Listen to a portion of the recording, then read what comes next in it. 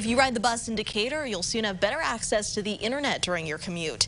Decatur City Council members approved the purchase of Wi-Fi equipment to be installed on every bus.